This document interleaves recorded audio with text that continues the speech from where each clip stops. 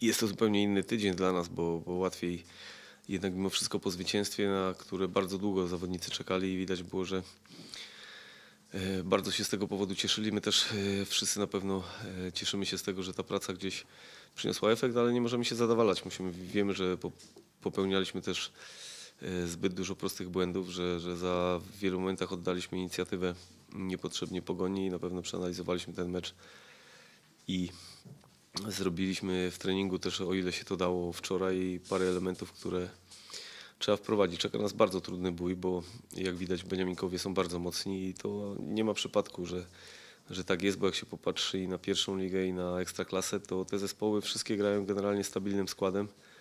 Te wszystkie zespoły są dobrze przygotowane fizycznie, tam jest parę tylko zmian wchodzących kilku zawodników. I tutaj musimy na pewno być przygotowani na to, że od pierwszej do ostatniej minuty zespół Sandecji będzie walczył i musimy się przeciwstawić tym samym, do tego dołożyć jeszcze elementy stricte piłkarskie, które są bardzo ważne.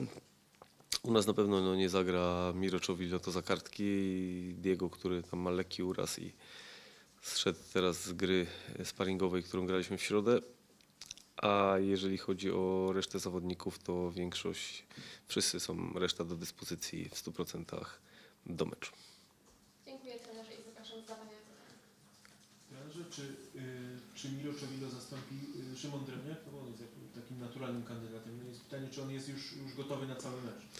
No mamy jeszcze dzisiaj też trening i, i, i gdzieś tam mamy, rozważamy różne, różne ustawienia i jest wielu zawodników, którzy gdzieś w środowym sparingu pokazali się z dobrej strony i na pewno jakąś alternatywę dali. Dlatego, dlatego musimy tu przemyśleć po prostu, jak to zrobić, żeby, żeby po prostu wykorzystać też e, elementy, które mają problem zespół Sandecji i to chcemy zrobić, ale to jeszcze po dzisiejszym treningu przeanalizujemy i dopiero wtedy podejmiemy decyzję.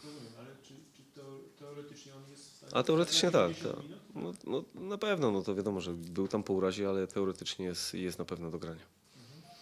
Trenerze, a mam- Mam pytanie o zawodników Krakowi, którzy obecnie y, były zawodników Krakowi, a, a jednego wciąż zawodnika Krakowi na wypożyczeniu. Mateusz Setnarski, z tego co wiem, to y, będzie mógł zagrać pod warunkiem, że Sandecja zapłaci określoną kwotę. To ma klauzulę, że nie może grać, także tak jest akurat. No, już, no ma, że tam jeżeli zapłacą, no tak jak pan mówi, ale to, czy to już jest nie nasz, nie nasz wybór, to już jest wybór tamtego, tamtej strony. No generalnie wy, wypożyczenie było darmowe i dlatego tak, e, tak też to wygląda. Mhm. I, Tomasz Brzyski, który, który odszedł, odszedł y, z Krakowi. Mam, mam pytanie do Pana, czy jak Pan tutaj obejmował zespół, zastan- zastanawiał się Pan nad nim, żeby go jednak tutaj zostawić? Ja wiem, że jemu się kończył kontrakt, ale czy Pan, czy pan myślał w takich kategoriach, żeby tutaj namawiać zawodnika? No akurat, no, no czy namawiać, no to, to jak byłem, no to też pamiętajmy, że no wielu tych zawodników wcześniej gdzieś tu nie, nie dogadało się, czy odeszli i sami chcieli odejść, bo też dzisiaj nikt nie powie z tych zawodników, że oni sami chcieli odejść, tak? To jest, to jest normalne, trzeba to zrozumieć i, i tak jest. No a wtedy mieliśmy Jarszyńskiego, mieliśmy Sowacha, mieliśmy Czuntę, mieliśmy Pestkę, no to, to wiadomo było, że, że tu akurat, ja go bardzo cenię jako piłkarza i, i znam go dobrze, także życzę mu powodzenia. A to jest dobra wiadomość, że Mateusz Czerniawski, znaczy wiedzieliście o tym od początku, że nie będzie mógł grać, ale czy, czy uważa Pan, że to jakaś tam, jakieś osłabienie Sandecji, czy jednak, czy jednak patrząc na to, jak grał Mateusz, e, no to, to nie- jest to, nie upatruje się tym szansy, że... Nie jest to mój problem. To jest y, decyzja Sandecji. Czy Sandecja wystawi go, czy nie, no to już jest, y, ma jakąś opcję, ale to ja życzę mu powodzenia i też, y, tak tutaj mówiliśmy wcześniej nieraz na konferencjach, że nie robiliśmy mu żadnych problemów, y, jeżeli chodzi o, o odejście i wypożyczenie. Dlatego też y, uważam, że jest to z dwóch stron w porządku. No bo on jest wypożyczony, czyli, czyli po okresie wypożyczenia on tutaj wróci. Czy Pan, że tak powiem, się mu bacznie również przygląda, no bo, no bo to będzie też jakby kolejny piłkarz, którego Pan będzie mógł albo zatrzymać, albo znowu gdzieś. No zobaczymy, no na, razie, na razie nie ma się co martwić tym, co będzie w przyszłości. No to w piłce nożnej to, co się powiedziało dzisiaj, jutro już jest nieaktualne. Także.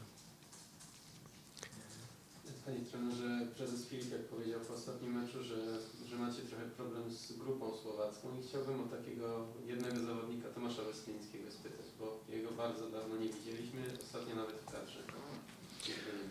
Nie. Nie ma wielu zawodników. No jeżeli teraz jest 29, no to co tydzień można zadawać pytanie, że kogoś nie ma albo ktoś jest i to jest normalne, że decydują też momenty takie w treningu, jak gramy, jak, jak się prezentują zawodnicy i no trudno, żeby też, e, jeżeli był na kadrze dwa razy jak my trenowaliśmy, to też gdzieś tam w tym momencie nie ma, nie ma możliwości i y, wiemy na pewno, że ci zawodnicy wszyscy generalnie Słowacy oprócz Dimuna, który był, to wyjechali na kadrę. No to, to jest też nasz trochę problem, bo to jest y, sytuacja taka, że w momencie jak my bardzo intensywnie pracowaliśmy, to ci zawodnicy grali generalnie mniej czy więcej, bo wiadomo, że Jarek nie zagrał w tych dwóch meczach, zagrał 3 minuty, a jeżeli chodzi o y, Siplaka i występ Siplak jedyny, który rozegrał całościowe mecze i trzeba tych zawod- zawodników odbudować i nie ma, nie ma też co tutaj, to jest ich też, y, ich zaangażowanie, ich po prostu umiejętności trzeba po prostu włożyć na odpowiedni poziom. Z Michalikiem wyglądał? Wiem, że był na kadrze, ale no, na początku się wydawało, że trochę wokół niego pan chce budować te swoje Krakowie. Ostatnio on jest no, na boku jednak. No takie jest życie no, piłkarza. Piłkarz y, jeden wskakuje, drugi wypada i jego ma bardzo dużo umiejętności, dalej w niego wierzę, ale musi po prostu pokazać to wszystko na boisku i jak dostanie szansę, to wtedy wyjść i, i zrobić wszystko, żeby po prostu zadomowić się na stałe w, w 11. A trzeba też być sprawiedliwym, bo trzeba przyznać, że i Mateusz Wdowiak i Kuba Wójcicki prezentują się dobrze, no i nie ma co ukrywać. No, w ostatnich dwóch meczach zdobyliśmy cztery punkty, które są dla nas bardzo ważne. Japoński jeszcze- pan zna, panie trenerze? Mm, Jeżeli chodzi o sędziów, jak pan zauważył, to ja już się nie odzywam i, i rzadko, rzadko coś mówię, bo to, bo to bardzo często jest tak odbierane, że, że, że ja wywołuję tylko presję i, i, i- w taki sposób w taki sposób mówię. No czasami nawet drobna sytuacja, którą gdzieś na konferencji się powie, to później jak czy przeczytałem ostatnio wypowiedź pana Grzegorza, mm, który napisał, że probierz chce sześciotygodniowej przerwy, a powiedziałem to w formie żartu, że nam by się przydało 6 tygodni, a nie dwa. I to jest kolosalna różnica przedstawienie, przedstawienie informacji w mediach, bo można z trenera zawsze łatwo zrobić debila i to jest, i to jest prawda. Czy To, mają? to, to nie dopytuję już w takim razie.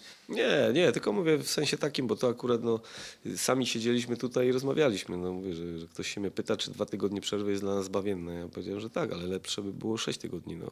A nie powiedziałem, że gdzieś, że ja bym chciał sześć tygodni, bo to jest kolosalna różnica w przekazaniu informacji medialnej. A że nie mam Twittera, to nie mogłem odpowiedzieć, także ktoś mi tylko przesłał screena.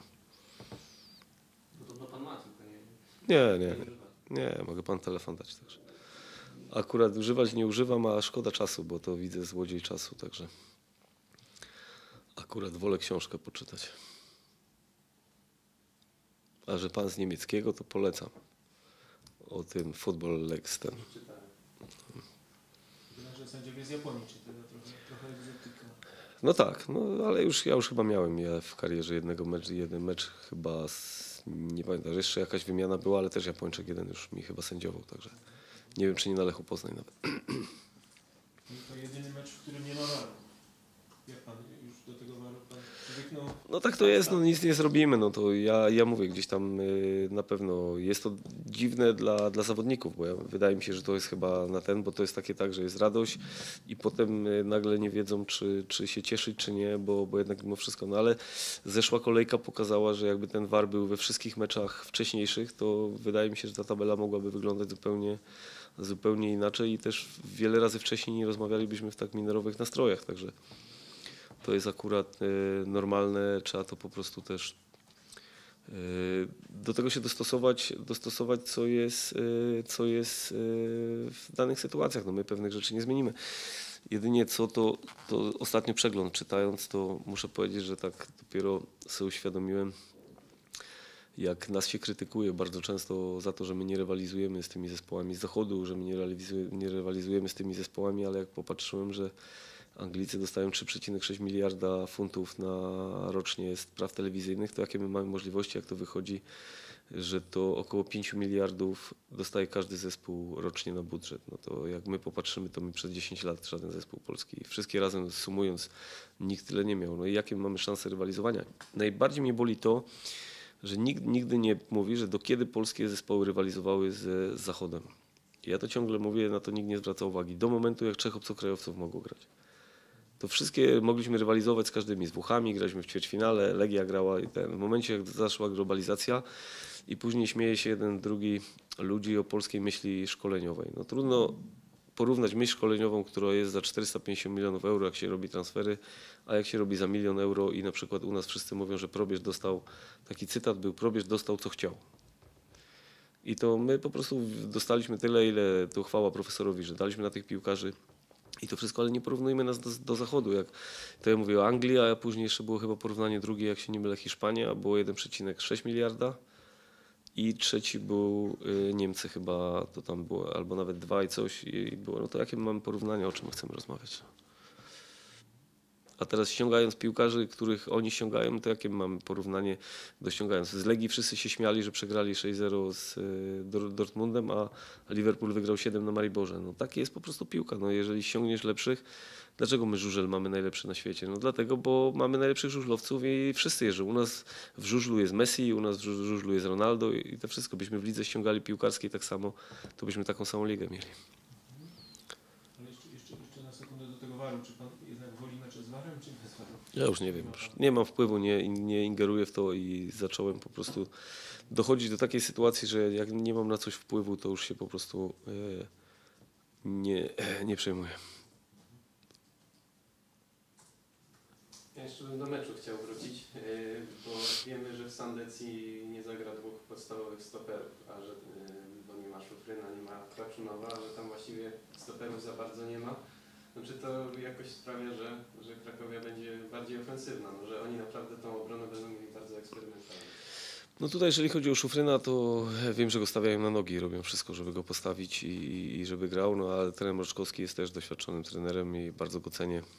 To też mój dobry kolega i wiem, że na pewno coś wymyśli. Często rozmawiamy o piłce i nawet jak y, w różnych klubach pracowaliśmy, to, to rozmawialiśmy, także wiem, że, że też jest, jeżeli chodzi o przygotowanie taktyczne, bardzo dobry do, do zawodu i y, ma na pewno Barana, którego może też tam wystawić, ma Strausa, którego może tam dać, bo też w sparingach grywał, także tam alternatyw trener ma, ma bardzo dużo, a jedno ma na pewno bardzo silny zespół, jeżeli chodzi o zespół całościowo i mentalnie, bo to zawodnicy, którzy awansowali w tak y, sposób przekonujący, bo trzeba powiedzieć, że to był przekonujący awans i dużo, dużo wcześniej, a atutem tego zespołu jest na pewno przygotowanie fizyczne, bo jest to jeden z zespołów lepiej przygotowanych fizycznie, jeżeli chodzi o, o naszą ekstraklasę.